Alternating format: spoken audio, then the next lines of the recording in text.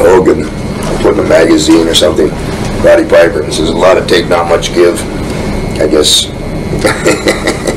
you're damn right. Isn't that the idea? I have more respect for Piper than most most any of the guys that I've worked with. He gave the people too much for their money. There came a, a very distinct time when we had a falling out. I don't think anybody had ever said that to him before. Uh, he, he got quite mad. It changed the locker room setting in wrestling.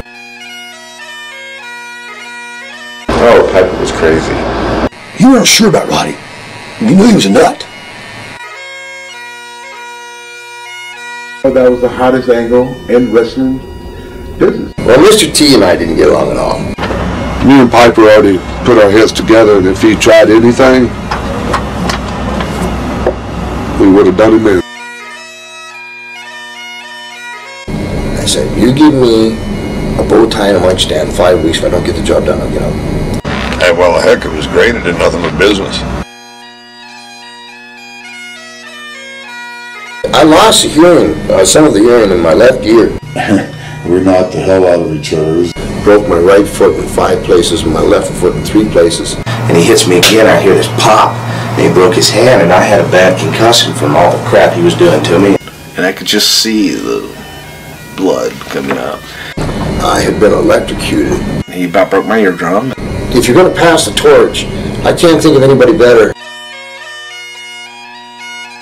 Uh, it was a, a, a house of ill repute on wheels. But he landed in jail over dropping elbows on a taxi cab. Was Piper here tonight? No, because what happened? He goes, well, they got arrested, him and Bob Orton. We almost got killed right Which is I give police five hundred dollars. A lot of partying, a lot of drugs.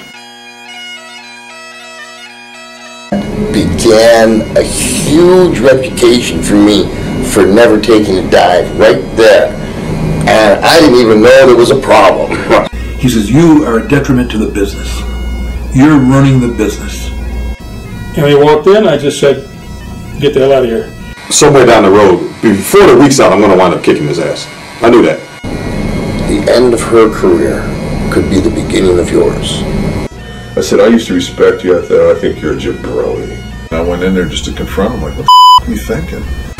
When the I got to arrest me. And he jumped up like he was going to come.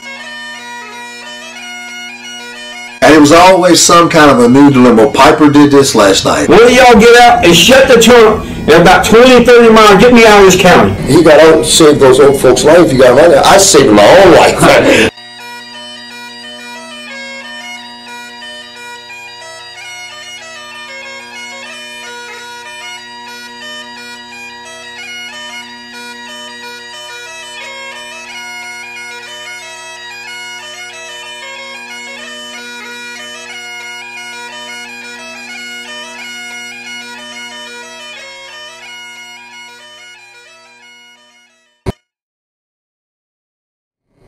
I don't know how I would be able to thank you.